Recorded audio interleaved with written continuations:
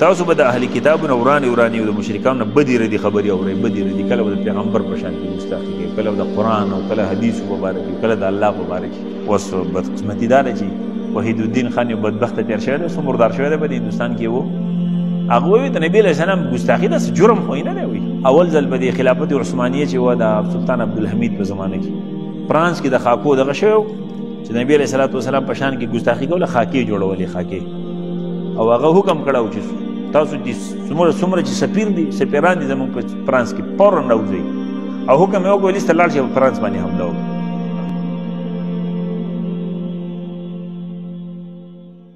تاسو به د اهل کتابونو وران وران او د مشرکانو نه بدی ردی خبري او ری بدی ردی کله د پیغمبر په شان کې ګستاخی کوي کله د قران او کله حدیث مبارک کله د الله مبارک او یو واقعي خلک دې نقل کوي واقعیا دا به تورې مثال نقل کوي ونی د دیر له سو کال سوار له سو کال تاریخ د دې نډک دی چې دا کافر ګستاخی کوي وخت وخت دا قران کې الله مخکې ویلي دا بکی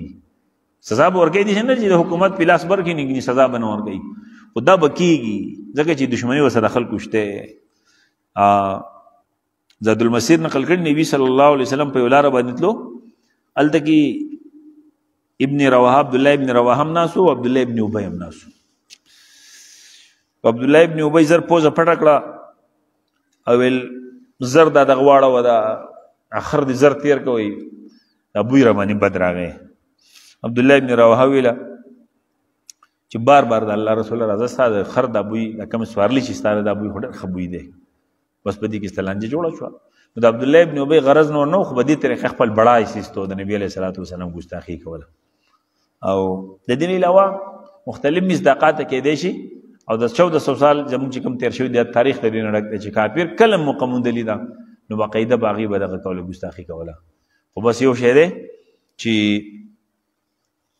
دغه دی دا الله دې یو ځل بیا نصیب کړي قوت مسلمانانو ته نو بیا به نه کېږي ګستاخیانې اول ځل به د خلافت عثمانیه چې وه د سلطان عبدالحمید په زمانه کې فرانس کې د خاکو دغه شوی چې نبی علیه صلات وسلام په شان کې ګستاخي کوله خاکې جوړولې خاکې او هغه حکم کړی و چې تاسو دې څومره څومره چې سفیر دي سفیران دي زموږ په فرانس کې فورا راوځئ او حکم یې وکړو لیسته لاړ شي په فرانس باندې حمله وکړي هغوی په خپله سړی ګرفتار کړل دا ونیسه خو موږ باندې حمله وکړه درمنه ورسې اوس بدقسمتي دا ده چې وحید الدین خان یو بدبخت تیر شوی دی اوس مردار شوی دی په هندوستان کې وو هغه وویل د نبی علیه السلام ګستاخي داسې جرم خو یې نه دی وایي